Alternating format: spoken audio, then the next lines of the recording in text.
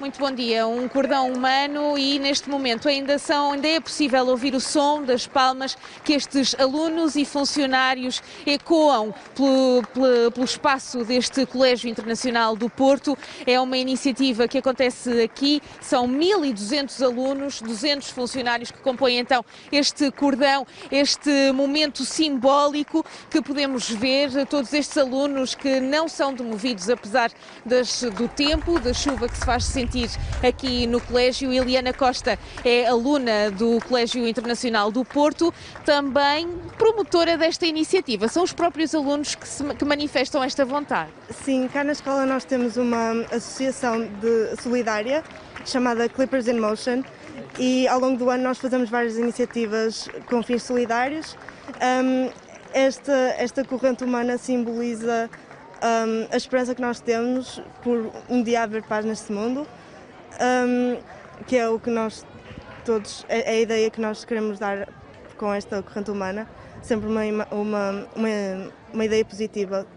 Porque a verdade é que vocês têm colegas de várias nacionalidades, não só portuguesa, não é? Sim, na escola temos mais de 50 nacionalidades diferentes e, e queremos todos o, o bem de, de, todos. E sentem de perto também este sofrimento que se passa não só no mundo, uh, em crianças da vossa idade e não só, mas também sentem este sofrimento de perto através destes colegas? Claro que toda, todas as nacionalidades diferentes trazem à escola um, um, um sentimento de, de globalidade e, e por isso, um, cada país um, sentimos um bocado o que está a acontecer. Muito obrigada, Eliana. É, portanto, então, uma iniciativa composta por 1.200 alunos, também 200 funcionários que compõem este cordão humano. Raquel Loureiro é professora aqui no colégio, também coordenadora deste grupo Clippers in Motion. Uh, mas é um, este colégio é, é muito particular. Existem aqui 52 nacionalidades dos estudantes, também ucranianos e russos, é assim? Sim, sim, correto. Nós temos então um, colégio muito diverso a nível de nacionalidades, portanto, esta iniciativa visa promover a paz, a paz mundial, e, portanto, visa promover a tolerância, a paz entre as nações.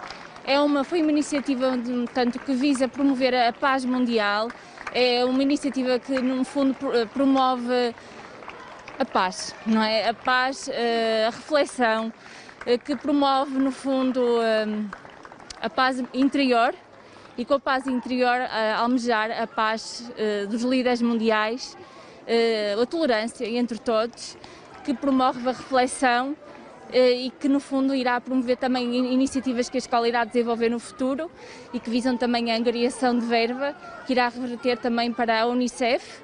Uh, e que irá também, uh, portanto, uh, no fundo, catapultar a angariação de verba que iremos ter também eh, no, futuro muito próximo. Portanto, lá está, este ato simbólico deste cordão humano está precisamente dentro de uma outra atividade, que é então esta angariação de fundos para a Unicef Ucrânia. como é mobilizar os alunos neste sentido? Uh, como é lecionar e explicar-lhes o que se passa no mundo?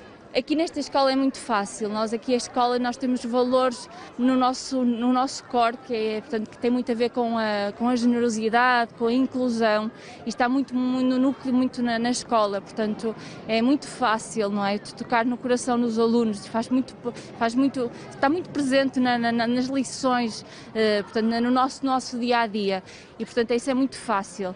Uh, e portanto é muito fácil chegar ao coração dos alunos e portanto estes projetos é, no fundo é, faz parte quase do nosso dia a dia. Uh, e portanto estas atividades é quase que muito intuitiva aqui na nossa na nossa escola.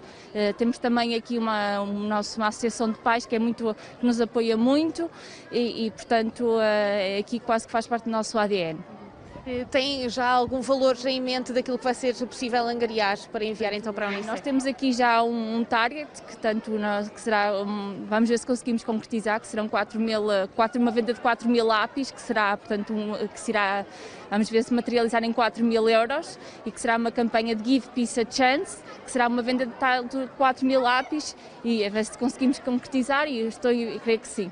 Muito obrigada, Raquel Loureiro, coordenadora do uh, grupo Clippers in Motion, aqui do Colégio Internacional do Porto, que hoje todos os alunos e funcionários se mobilizam neste cordão humano, a bater palmas, como pudemos ouvir no início deste direto, uma ação simbólica, um ato simbólico de uma atividade que pretende também angariar fundos para enviar para a Unicef Ucrânia, no fundo, um apelo à paz no mundo.